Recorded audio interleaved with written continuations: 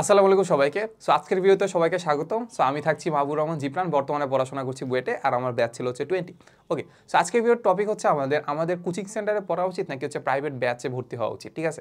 So এই প্রশ্নটা সাধারণত আমাদের টার্গেট অডিয়েন্স হচ্ছে এজেসি টোয়েন্টি ফাইভ ব্যাচ যারা আসলে মোটামুটি এখন পাঁচ ছয় মাস পার করছ ফার্স্ট ইয়ারে সো এখন আসলে অনেকেই হয়তো প্রাইভেট ব্যাচে ভর্তি আসো অনেকে হচ্ছে আমাদের কোচিং সেন্টারে ভর্তি আসো ঠিক আছে?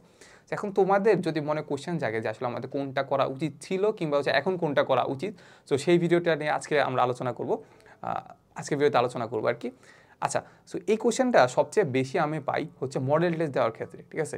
যখন হচ্ছে আমাদের ধরো এইচএসসি পরীক্ষা বা এসএসসি পরীক্ষা শেষ, না এসএসসি বা এইচএসসি পরীক্ষা টেস্ট পরীক্ষা শেষ, তখন হচ্ছে আমাদের মডেল টেস্ট দিতে হয়, তখন হচ্ছে কোচিং সেন্টারে মডেল টেস্ট নেয়, তারপরে হচ্ছে প্রাইভেট ব্যাচ যে স্যার আছে, স্যারদের প্রাইভেট ব্যাচে প্রাইভেট ব্যাচে হচ্ছে মডেল টেস্ট নেওয়া শুরু করে। সো তখন আসলে আমাকে জিজ্ঞেস করে যে, ভাই, কোনটা করা উচিত আর কি ঠিক আছে?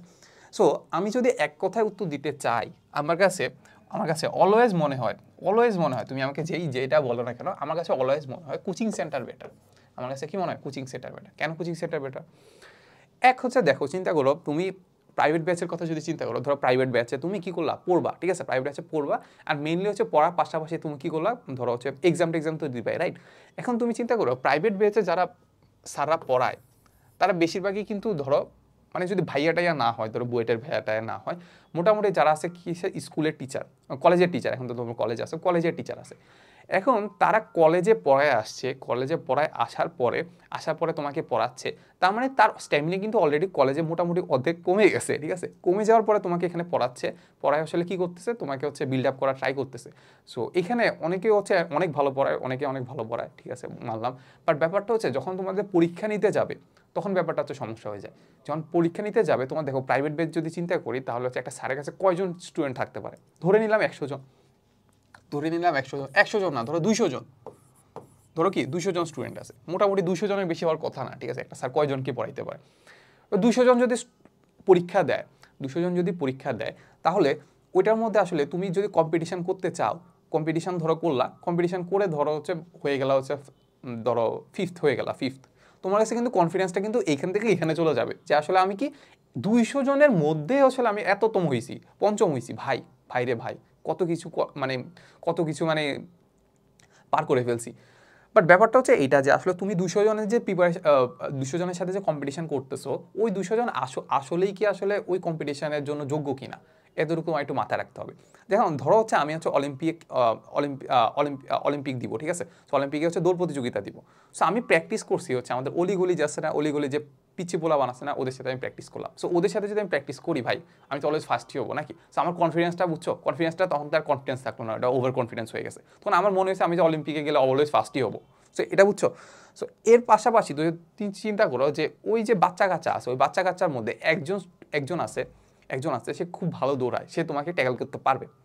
সো দেখা গেছে যে ওর সাথে তুমি দৌড়াদৌড়ি করলা মানে সবার সাথে দৌড়াদৌড়ি করলা, দেখা গেছে ও ফার্স্ট হয়ে গেছে, তুমি সেকেন্ড হয়ে গেছো। বাট বুঝো, তুমি কিন্তু সেকেন্ড হয়েছো কিন্তু অ্যাটলিস্ট সেকেন্ড হওয়ার কারণে কিন্তু তোমার কনফিডেন্সটা কিন্তু কী হচ্ছে? কনফিডেন্সটা কিন্তু গ্রো হচ্ছে। প্লাস ওইখানে যদি আরেকজন থাকতো, তাও কিন্তু তুমি থার্ড হবা। বুঝতে পারছ?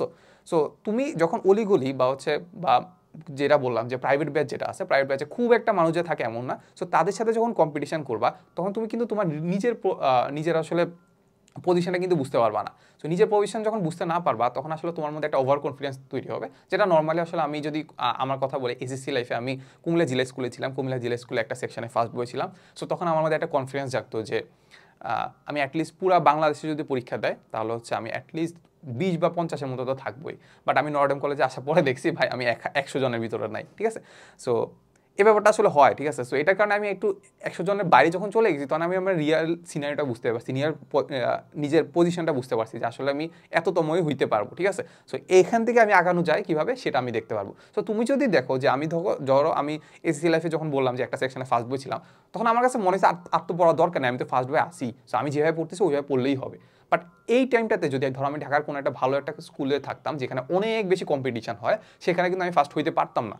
যখন ফার্স্ট হইতে পারতাম না, তখন আমার মনে হইতো যে আমার এই পড়াশোনা দিয়ে হবে না বা এই স্ট্র্যাটেজি দিয়ে হবে না আরও একটু বেশি পড়তে হবে। সেই জন্যই বললাম যে আমি যখন এনভায়রনমেন্ট তৈরি করব, যে আমার আশেপাশে সবাই কম্পিটিটর আমার, তখন কিন্তু আমার পড়াশোনার জিনিসগুলোকে আরও মানে আরও মানে আরও পড়তে ইচ্ছা করবে। প্লাস কেন ইচ্ছা করবে? কারণ হচ্ছে আমার কী করতে হবে? আমাদের র্যাঙ্কটাকে আগাইতে হবে। সো এই জন্য আমার মনে হয় যে প্রাইভেট ব্যাচ থেকে কোচিং সেন্টার বেটার আর কোচিং সেন্টারের ক্ষেত্রে অনেকগুলো সুবিধা আছে, সেটা হচ্ছে দেখো কোচিং সেন্টারে যে কোশ্চেনগুলো আছে কোশ্চেনগুলো কিন্তু সবাই অনেকে চিন্তা ভাবনা করে বানায়। সব কোচিং সেন্টার না বাট আমি মোটামুটি যেগুলো জানি, যেগুলো আসলে একদমই ভালো কোচিং সেন্টার, ওই কোচিং সেন্টারগুলোর কোশ্চেন যেগুলো আছে সো কোশ্চেনগুলো কিন্তু টপ ক্লাস হয়। কোশ্চেনগুলো কিন্তু টপ ক্লাস হয়। কোশ্চেন টপ ক্লাস কীভাবে হয়? কারণ হচ্ছে তারা অনেকে চিন্তা ভাবনা করে হচ্ছে কোশ্চেনগুলো বানায়। আর আমি যদি প্রাইভেট ব্যাচের কথা চিন্তা করি, দেখব ওখানে যে স্যারগুলো আছে, স্যারদের এত কুই টাইম আছে বলো তো আমাকে? স্যাররা হচ্ছে কলেজে পড়াবে প্লাস হচ্ছে এতগুলো ব্যাচ পড়াবে, তারপর কোশ্চেন করবে। দেখা যায় এর আগের বছরে যে কোশ্চেন ছিল না, ওই কোশ্চেনগুলো দিয়ে দেয়। আমি সবার কথা বলতেছি না এক্সেপশন থাকতে পারে জাস্ট আমার কাছে যেটা ফিল করলাম আর কি। সো ওই কোয়েশ্চেনগুলো দিয়ে দেখা যায় যে কি স্যারদের কি মাথা ব্যথা? স্যারদের মাথা ব্যথা হচ্ছে কি পোলাপান এখানে কম্পিটিশন করবে কম্পিটিশন করে হচ্ছে ফার্স্ট সেকেন্ড থার্ড হবে। সো এইটুকুই পোলাপান খুশি যে আমার হচ্ছে র্যাঙ্ক বুঝতে পারলাম। কোশ্চেনের কোয়ালিটি দিয়ে তাদের কি আসে যায় বলো? কোশ্চেনের কোয়ালিটিতে কি আসে যায়? সো আমি কোয়ালিটি কখন কি করব? তখন হচ্ছে সারা চিন্তা করে যে আমাদের বোর্ড ওয়াইজ হচ্ছে কিনা। বোর্ডের মতো যদি কোশ্চেন হয়, তাহলে মোটামুটি পোলাপান স্যাটিসফাইড বাট আমাদের যে কোচিং সেন্টার আছে কোচিং সেন্টারে যারা কোশ্চেন করে, তারা দেখবে একটু ইউনিক কোশ্চেন করা ট্রাই করে। একটু কঠিন কোশ্চেন করা ট্রাই করে। সেই জন্য দেখা যায় যে আমি অনেকের থেকে অভিযোগ শুনি যে, ভাই, এই কোচিং সেন্টারে আমি ভর্তি হয়েছি বাট কোশ্চেন এমন কঠিন করে যে আসলে এগুলো আসলে বোর্ডে আসার মতো না। ঠিক আমিও বিশ্বাস করি, এমন কঠিন কোশ্চেন করে যেগুলো আসলে কি বোর্ডে আসার মতো না আর কি। বাট আমার কাছে যেটা মনে হয়, সেটা হচ্ছে বোর্ডে আসা না আসা দিয়ে আমার কী আসে যায় বলো? বোর্ডে তো আনকমন জিনিসপাতি আসতেই পারে। সো আমি প্রিপারেশান নিচ্ছি, আমার প্রিপারেশানটা কতটুকু ভালো হয়েছে সেটা কখন বুঝতে পারব? তখন বুঝতে পারব যখন কোশ্চেনটা কঠিন হবে, কঠিন হলে দেখা যাবে যে আসলে প্রত্যেকের মাঝখানে ডিফারেন্সটা নাম্বারের ডিফারেন্সটা অনেক বেশি হবে। যে খুব বেশি ভালো প্রিপারেশান নিছে, সে খুব বেশি ভালো নাম্বার পাবে, যে প্রিপারেশান একদমই নেয় না, যার বেসিক একদমই ক্লিয়ার না, সে কিন্তু খুব নিচে চলে যাবে। বাট তোমার কোশ্চেন যদি একদমই বোর্ড স্ট্যান্ডার্ড হয় মানে একবারে সহজ হয়, তখন দেখা যাবে কি ওই সবার মাঝখানে ডিফারেন্সটা নাম্বার ডিফারেন্সটা খুব একটা বেশি থাকবে না। কারণ যে খারাপ প্রিপারেশন নিছে, সে টেস্ট পেপার মুখস্থ করে এসে দিয়ে দিয়ে দিতে পারবে। আবার যে ভালো প্রিপারেশন নিচ্ছে তার বেসিক ক্লিয়ার আছে তার কিন্তু সে মোটামুটি ওই দেখা যাবে একটু ভুলের কারণে দেখা যায় যে খারাপ প্রিপারেশন নিচ্ছে তার ছবি চব্বিশে চলে গেছে। ঠিক আছে? সো এটা কাইন্ড হচ্ছে আনফেয়ার হয়ে যায় আর কি আমি যেটা ফিল করলাম আর কি সো এটা আমি ফিল করছিলাম হচ্ছে, আমি যখন এমআইএসটি এমআইএসটি পরীক্ষা দিতে গেছিলাম এমআইএসটি পরীক্ষা এত সহজ করছে ভাই, তখন আমি ওখানে পরীক্ষার হলে বুঝতে পারছি যে আসলে আমি এখানে টিকবো না। কেন টিকবো না? কারণ হচ্ছে কি, যারা খারাপ, আমি মোটামুটি ভালো প্রিপারেশান নিয়েছি বলতে আমি একদম কঠিন কঠিন জিনিস পড়ে গেছিলাম মানে একদম বেসিক ক্লিয়ার করে গেছিলাম। সো দেখা গেছে যে সবাই তো ভালো পাবে এখানে, সবাই তো ভালো পাবে। সো দেখা যাবে যে আমি হয়তো একটা স্লাইড একটা কিছু একটা মিস করছি, ওই মিস করার কারণে দেখা যাচ্ছে আমি দেখছি একশো, দুশো, তিনশো পিছিয়ে গেছি। ঠিক আছে? যদিও চান্স পাইছিলাম আর কি। সো ওকে সো এতটুকুই বুঝতে পারলাম যে আসলে আমি অ্যাটলিস্ট পড়াশোনার কথা ব্যাপারটা আমি জানি না, কারণ পড়াশোনার তো কোয়ালিটি ওয়াইজ ডিফারেন্ট হয়। সাদরা এক রকম পড়ায় কোচিং সেন্টার এক রকম পড়ায়। সো কোয়ালিটি ওয়াইজ ডিফারেন্ট হতে পারে। সো এখানে আসলে আমি মিলে আলোচনা করছি আসলে কোথায় এক্সাম দেওয়া উচিত, বুঝছ? সো এখানে আসলে একটু কারেকশন করা উচিত যে আমি এখানে আলোচনা করছি যে কোথায় এক্সাম দেওয়া উচিত। কোথায় এক্সাম দেওয়া উচিত? কোথায় এক্সাম দেওয়া উচিত? ঠিক আছে? সো যারা আমাকে কোশ্চেন করো যে আসলে কোথায় কোচিং সেন্টার দেওয়া উচিত আমি আসলে বুঝি না যে প্রাইভেট প্রাইভেট ব্যাচ বা হচ্ছে স্যারের কাছে পরীক্ষা দিয়ে আদৌ আসলে খুব একটা লাভ হয় কিনা, আমি কখনো পরীক্ষা দিই নেই ভাই। ইভেন হচ্ছে দেখা যায় যে স্যারা হচ্ছে মাঝে মাঝে সাজেশান দেয় সাজেশান হচ্ছে বিক্রি করে। সো ওই সাজেশানেরও আমি মানে বুঝি না। আমরা কেন যে আসলে আমরা কমনের জন্য প্রিপারেশান নেই, আমরা জাস্ট একটু কনসেপ্ট ক্লিয়ার করার জন্য প্রিপারেশান যদি নেই, তাহলে মোটামুটি কিন্তু আমরা সব কিছুতে ভালো রেজাল্ট করতে পারব। সো এখানে আসলে কমন পাওয়ার আসলে কী আছে, এটা আমার আসলে মাথায় ঢুকে না আর কি।